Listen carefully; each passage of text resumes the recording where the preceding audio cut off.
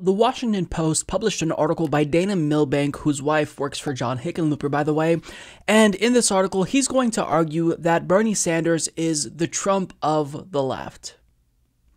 I mean, you could have really anticipated that this would be their new line of attack because now that Bernie Sanders has the name recognition, now that his policies are overwhelmingly popular, now they have to find some other way to bring him down and discredit him. So, what this journalist is trying to do is compare him to Donald Trump and say that his tactics are not only similar to Donald Trump, he's still hateful. Albeit in different ways. He still scapegoats, albeit in different ways.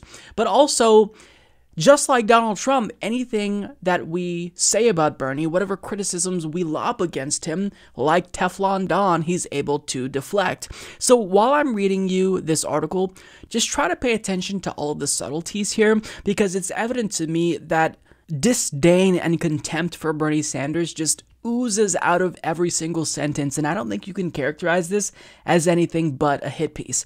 So, we're going to take this paragraph by paragraph here, and um, I'll tell you why I take issue with what this author is saying. So he writes On paper, the independent from Vermont doesn't make sense. Democrats are a party of youth, and he's 77. They are majority female, and he's a man. They represent the emerging multicultural America, and he is white. Statistically, he is the worst option against Trump. An NBC News poll this week found that there are more voters with concerns about Sanders, 58%, than there are for former Vice President Joe Biden at 48%, Senator Elizabeth Warren at 53%, Senator Kamala Harris or former Representative Beto O'Rourke at 41% each. Now, Sure, it is the case that, descriptively speaking, Bernie Sanders does not look like the average modern Democrat. However, the reason why individuals who are young from all demographics overwhelmingly support Bernie Sanders is because he represents us substantively which is why, as one Vox article puts it, his base is diverse and very young. Because what people don't acknowledge is that there's a real difference between descriptive representation and substantive representation. Descriptive representation just means that we have people in power that look like us that are the same colors and ethnicities and gender identities as us. But substantive representation means that they're actually passing policies that protect us, that improve the lives of marginalized communities. Now, political science research does show that more often than not, descriptive representation oftentimes does directly translate into substantive representation. But the reason why young people and people who wouldn't traditionally like an old white male like him is because he represents us in a meaningful way. He's in tuned to what we want. He understands the struggle of millennials more so than any other politician. And understand that young voters will determine who wins this election either by voting or staying home. So, what we need to do is have someone as the Democratic Party nominee who's going to be able to energize the base, who more often than not actually can determine the election. In 2008, it was young people who got Barack Obama elected. If we stayed home, he wouldn't have been able to win. So you've got to have a candidate who's appealing to young voters, and Bernie Sanders is that candidate. So it doesn't matter that descriptively speaking, he doesn't look like us and he's old. What matters is that he represents us and has real plans to improve our lives. And they don't see it because they don't really care about the policy substance, but normal people do. Now, he also says here that statistically, Bernie Sanders is the worst option to go against Donald Trump. And what is his evidence for this? One poll. He cites one poll. I mean, come on. If you're a journalist, then you need to know, and really, I think he probably does know, that citing one poll isn't really that persuasive in terms of evidence or arguments because Polling data itself, if you just look at one poll, that's not very reliable. But if you look at aggregate polling data, it is more reliable. And if you look at aggregate polling data when it comes to head to head matchups between Bernie Sanders and Donald Trump, It does not show that he's the worst option. It shows that he's one of the best. Now, to be honest, it doesn't show that he is the best option because currently Joe Biden has the overall largest lead in head to head matchups with Donald Trump. He's 8.7 points ahead, and Bernie Sanders is 4.3 points ahead. Now, of course, that's not as good as I had hoped. It wasn't as good as it was in 2016, but it's still incredibly early, and at this point in time, Bernie Sanders still fares better than pretty much everyone else. He fares better than O'Rourke and Harris. But I mean, what we've got to understand here is that what happened in 2016 is likely going to happen again. The more that Bernie Sanders Sanders, that I call him Sanders, the more that Bernie Sanders stays in the spotlight, the more that his likability goes up. He's now the most popular politician in America. And I think the opposite will probably happen with Joe Biden. I think that the more that he talks, the more that his likability will decrease.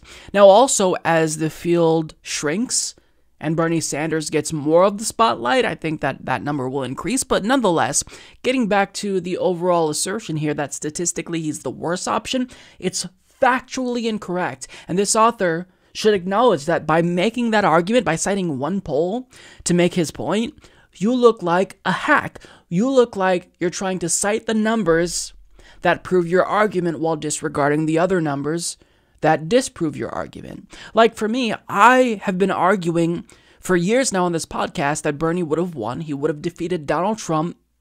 But I am at least honest enough to acknowledge that currently, when you look at aggregate polling data, Joe Biden is polling better than Bernie against Donald Trump. That's just a fact. I can't change it. Do I hope it changes? Yes. Do I think it will change? Yes. But I'm still being honest about the factual and statistical realities currently.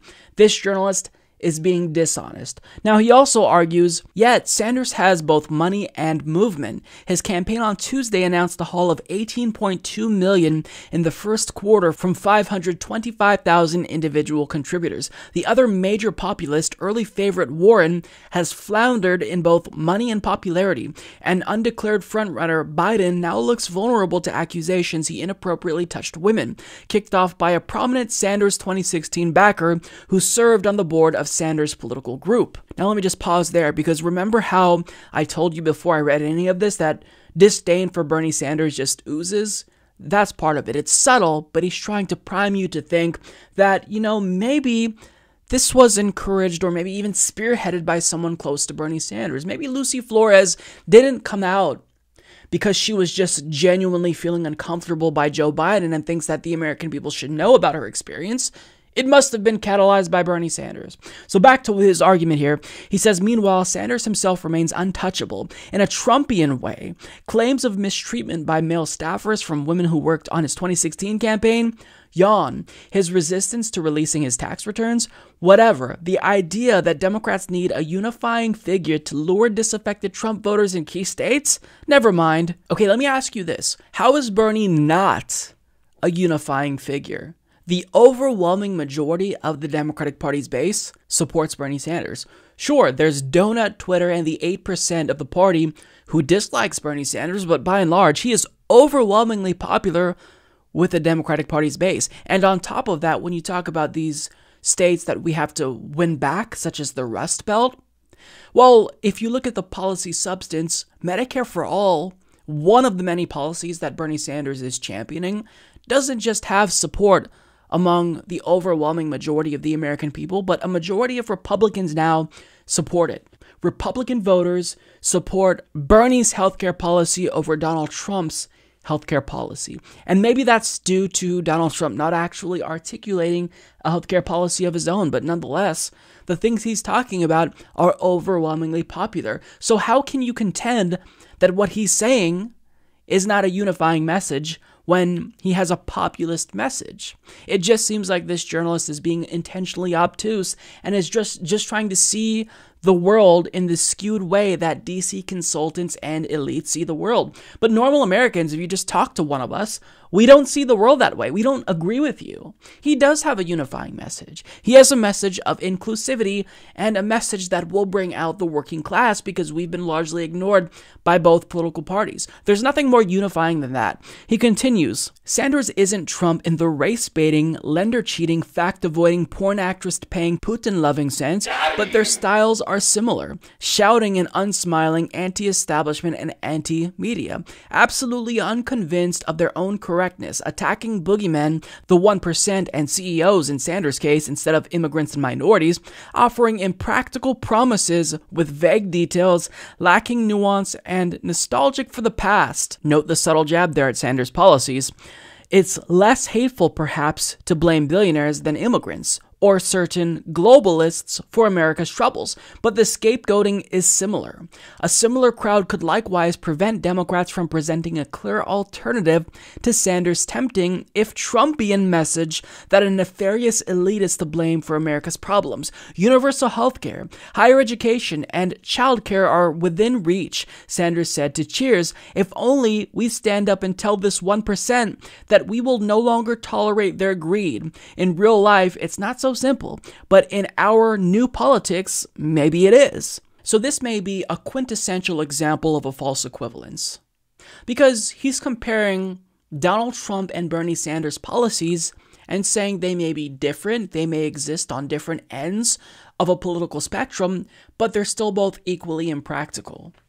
Donald Trump supposedly saying that Mexico will pay for a wall on our southern border is as equally impractical as us getting the same healthcare system that every other country in the developed world has. That's the argument he's making. I mean, I, I don't know what else to say, but that you're a hack and we see right through you.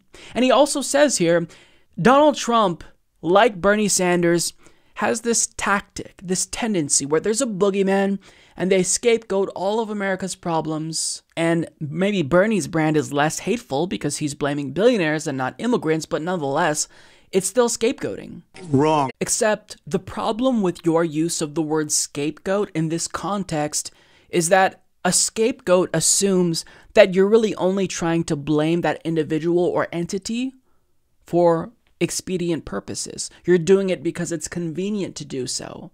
But when Bernie Sanders blames the 1% for all of our political issues and economic woes, he's not scapegoating.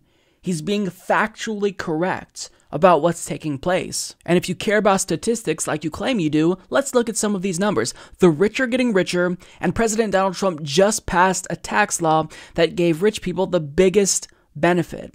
CEOs are paid 361 times that of the average worker, while 40% of Americans can't cover the cost of a $400 expense. Nearly half of workers make less than $30,000 per year, and the federal minimum wage hasn't been increased since 2009. The world made more billionaires than ever in 2017, and those billionaires became 20% richer. Meanwhile, homelessness has been on the rise in the United States now for two years in a row.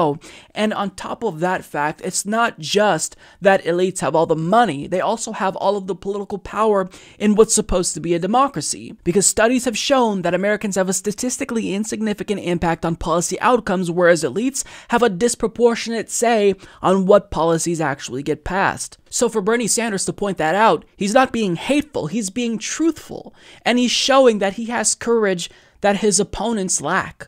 Because even though people in the Democratic primary who are running against him are smart enough to acknowledge that it's the elites who are ruining not just the economy, but our democracy, they're too afraid to say it because they're trying to court donations from them. They know that these elites can help them get elected, so they don't want to demonize them too hard. But Bernie Sanders, he's actually calling it like it is. And you say that he's demagoguing in a way that Donald Trump demagogues and uses anti immigrant rhetoric. That's your argument. Bernie tells the truth, and you compare him to Trump's demagoguery. What a disgusting thing to say. You're literally pretending that his quote unquote hatred for the rich is comparable to Trump's anti immigrant hatred and demagoguery. I don't even know how anyone can take this article seriously. It's just, it's disgusting. You're making a moral equivalence where there is no equivalence between Bernie Sanders and Donald Trump. They both may be angry, but one is angry for unjust reasons and the other is angry for just reasons. So when Bernie Sanders calls out the billionaire and the oligarchs, he's doing it because their greed is ruining the economy and it's contributing to income and wealth inequality that ultimately is hurting Americans. When Donald Trump calls out immigrants and says that they're invading the country, what he's doing is trying to use fear mongering in order to get you to think that he's going to save you from this big bad immigrant boogeyman. That's scapegoating. What Bernie Sanders is doing is truth telling, objectively speaking, because we know that immigrants are not the problem. If you look at statistics, they're not the problem. But conversely, if you look at the impact that the greed of oligarchs is having, they are the problem by and large. So, this is a disgusting hit piece against Bernie Sanders, and it's clear that the author is a little bit butthurt that he's getting a lot of backlash for it. But if you're going to write something this hacky, I think that you've got to expect and anticipate criticism because that's absolute nonsense. And it's obvious it's just a smear because the left largely does not like Donald Trump. So if you can tie Bernie to Trump, then that helps to demonize Bernie Sanders. It gets everyone primed to believe that if you want more instability, then vote for Bernie because he's just the opposite version version of Donald Trump. Um, yeah, shame on you. This is a disgusting hit piece. Mike is a total loser, so don't hit the subscribe button, okay? And whatever you do, folks, do not hit the notification bell either. Mike treats me so unfairly.